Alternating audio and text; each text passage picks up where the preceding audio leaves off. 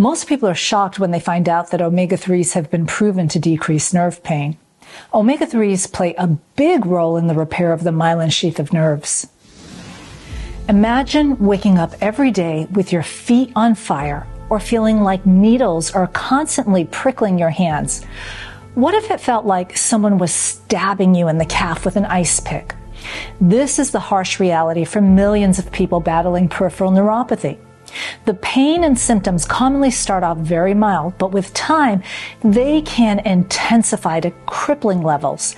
And medications like gabapentin and Lyrica only work to take the edge off in about 50% of the people. So for many, it's a life sentence of severe symptoms and pain, sleepless nights, and an abysmal quality of life. But what if there was a natural way to fight back? A way to not only reduce that burning, stabbing pain, but also support nerve health from the inside out?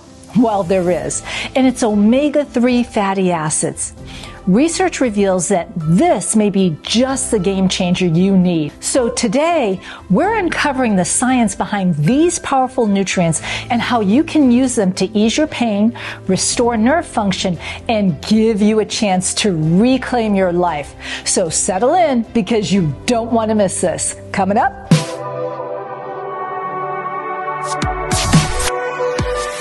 Hey there, health warriors. Welcome back.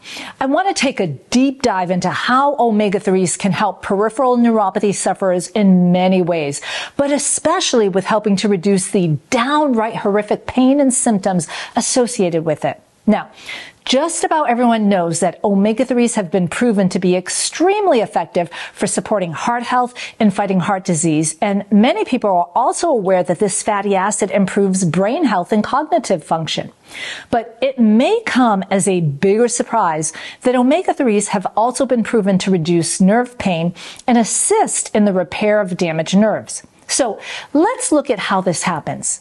Omega-3 fatty acids are made up of EPA and DHA, which have very strong anti-inflammatory properties that help reduce neural inflammation or the inflammation around nerves.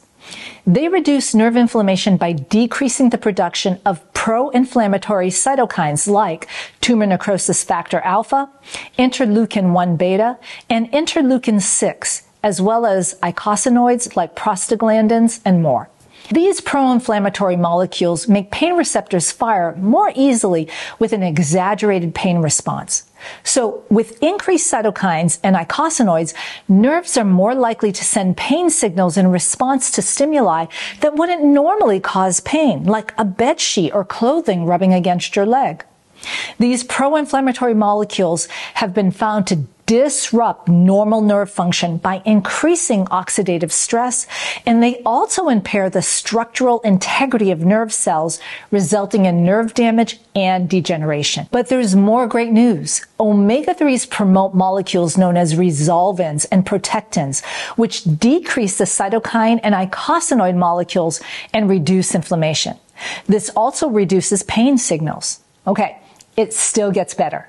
Omega-3 fatty acids also have antioxidant effects, which help protect nerve membranes from oxidative stress and damage leading to nerve pain. This is especially important for anyone suffering from neurodegenerative diseases like Alzheimer's or Lewy body dementia, Parkinson's, MS, ALS, or Huntington's disease, all associated with increased inflammation. Omega-3 fatty acids play an important role in slowing down the nerve degeneration and damage associated with these diseases. You might not realize that omega-3s also support and maintain a healthy myelin sheath, the protective layer around nerves. DHA in particular is concentrated in myelin, providing stability and proper functioning. Many people suffering from moderate to severe peripheral neuropathy have to take medications like gabapentin or Lyrica to manage their symptoms, which really can get extremely bad. There are a couple of downsides to these meds, however. One, they're typically only effective in about 50% of the people taking them. And two, these meds do absolutely nothing to repair nerve damage. But research has shown that omega-3s not only help to decrease nerve pain, but actually support the repair of damaged nerves and improve nerve sig- signaling. But here's something that's important for you to understand. Pain medications work by forcing a physiological response in the body. They'll either forcefully activate, inhibit, or alter normal cell functions, which is how you get fast pain relief. However, when you're dealing with natural supplements like fish oil, it doesn't force a reaction in the body. Instead, it provides the cells with the tools they need to restore normal biological functions and combat ongoing abnormal functions. So this means it's a much slower process to get pain relief than when you take a drug. Now, I'm sharing this with you because I want you to realize omega 3s won't immediately decrease your neuropathy pain and symptoms. It's going to take some time. So the question is, how much time will it take to see a decrease in pain and symptoms from the omega 3s? Well, the response to omega 3 supplementation can vary widely based on things like the type of nerve pain you have, your dietary habits, and other underlying illnesses you might have. For people with milder cases of peripheral neuropathy, research has shown that they may see decreased pain and symptoms within four to six weeks of starting higher doses of omega 3s. While people with more severe symptoms may take up to three to six months before they see a reduction, especially if they have chronic underlying inflammation from other illnesses or poor diet or even lack of sleep. So if you're suffering from severe symptoms, getting much faster pain relief is usually necessary. In these cases, you may need to use gabapentin or Lyrica to help alleviate your pain. The good news is you won't need to be stuck on them for years. You can use them short term while your fish oil is working in the background. By about the third to fourth month mark, you should be able to start weaning off of the gabapentin or the Lyrica. So right about now, you're probably wondering, how much do I need to take? Clinical studies typically use doses that range from 1,000 to 3,000 milligrams of combined EPA and DHA per day. Now, I can tell you from experience for our patients with severe peripheral neuropathy, Dr. C and I recommend between 3,000 to 4,000 milligrams of EPA DHA daily. We find much better results with these doses. Now, let's talk about the best sources to get your omega 3s from. In your diet, you can consume the necessary amount of omega 3s by eating fatty fish like wild caught Alaskan salmon, such as sockeye, coho, or chinook, Atlantic mackerel. This type of mackerel is much lower in heavy metals than other species of mackerel. Or you can eat herring and sardines. But remember, you're aiming to take in between 3,000 to 4,000 milligrams of EPA DHA daily. So if you eat four ounces of salmon, you're likely taking in about 1100 to 1500 milligrams of EPA DHA, which isn't quite enough. In this case, you would need to supplement with a good quality fish oil. Okay, so let's look at how you identify good quality fish oils. There are literally hundreds of fish oils on the market, and most of them are pretty crappy. So let me show you how to weed the good ones out from the bad ones.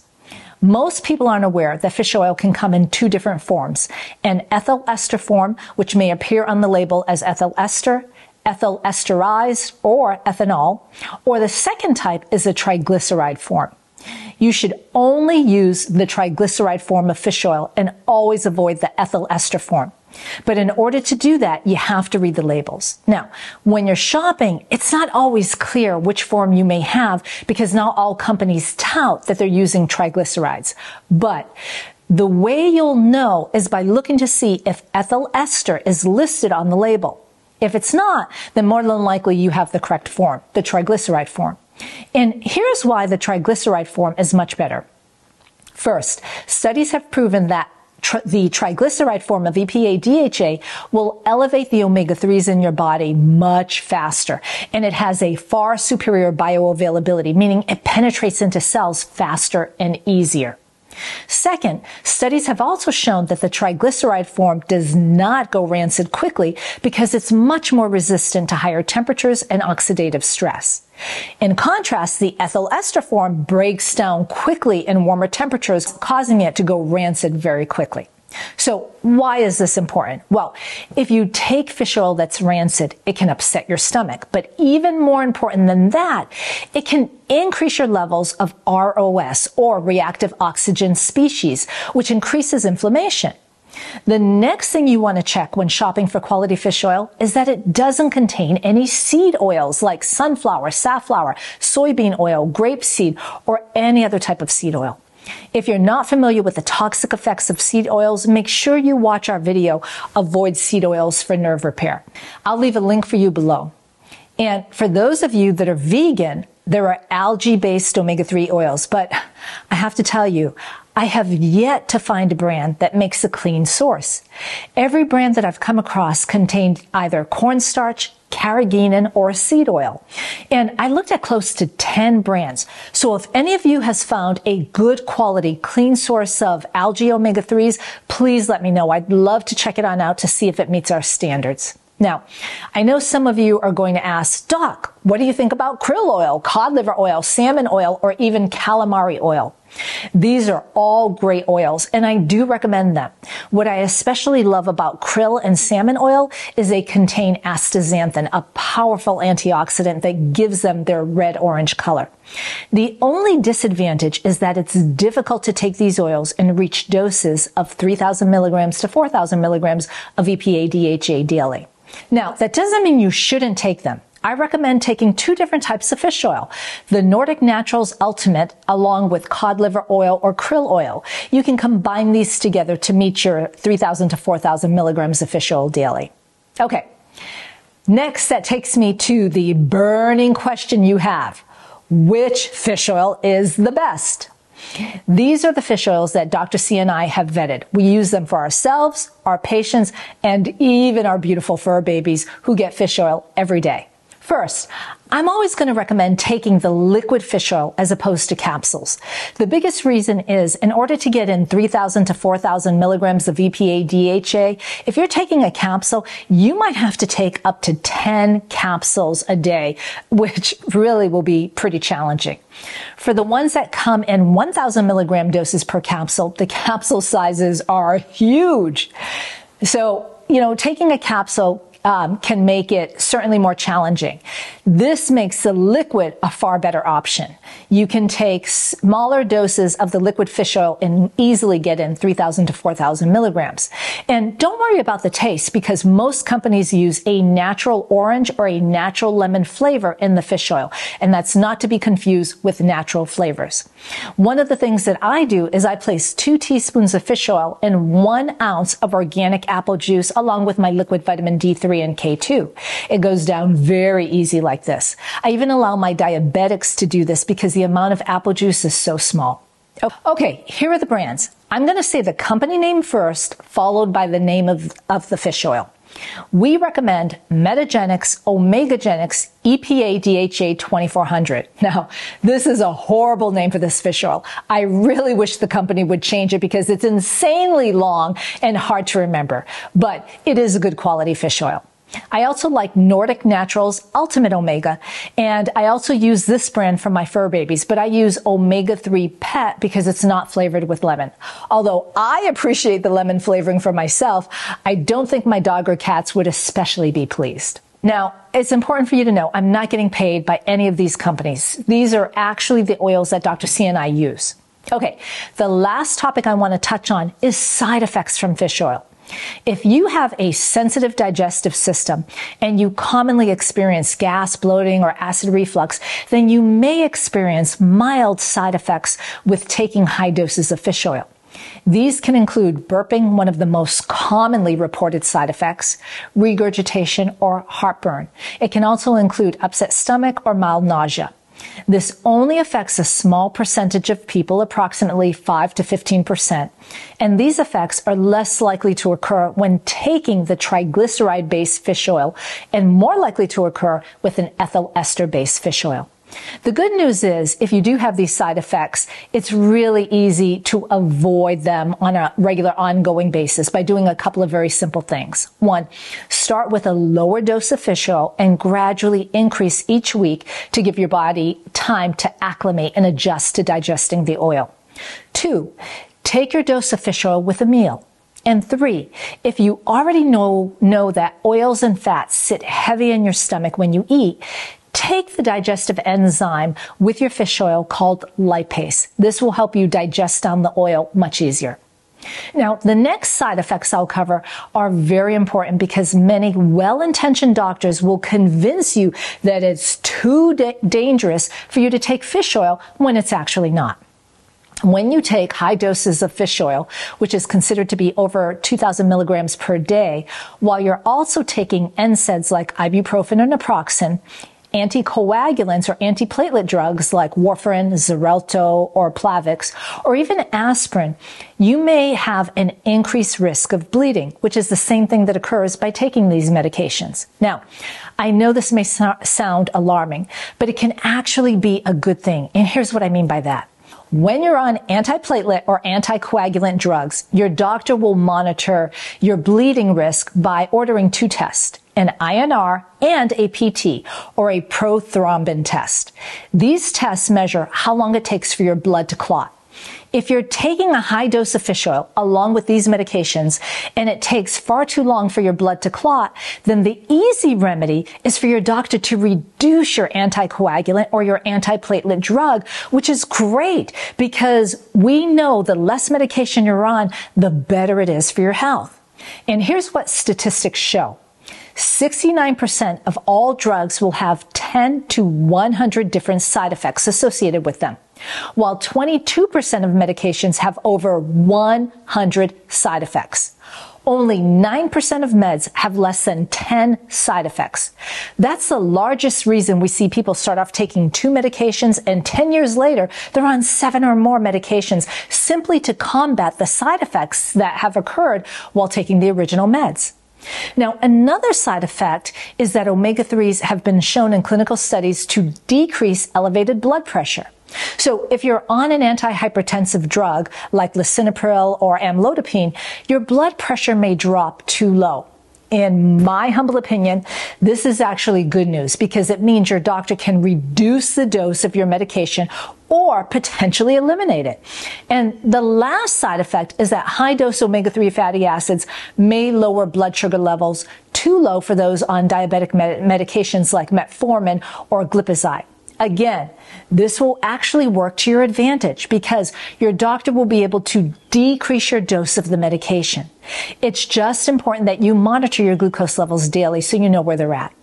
And there you have it, health warriors. The power of omega 3s goes far beyond heart and brain health. It can help you fight back against nerve pain while simultaneously repairing and regenerating the damaged nerves. Remember, it's not an overnight fix, but it is a long-term ally working from the inside out, giving your nerves the necessary tools to repair and restore itself. If you've enjoyed this video, please like and share it with as many people as possible. This really helps our YouTube algorithm so more people can find us. Also, make sure you subscribe to our channel to become part of our Nuphoria tribe. And one last thing. Don't forget to click on the bell to get notified as soon as we release new, new videos each week. Here's to better days ahead where pain doesn't define your life, but the choices you make do. I look forward to seeing you on the road to great nerve health. Blessings. I'm going to say the company name first. Ball, blah, ball, blue. Oh, let's try that one again. Or prothrombin. Let me see if I can say that right. let's go back.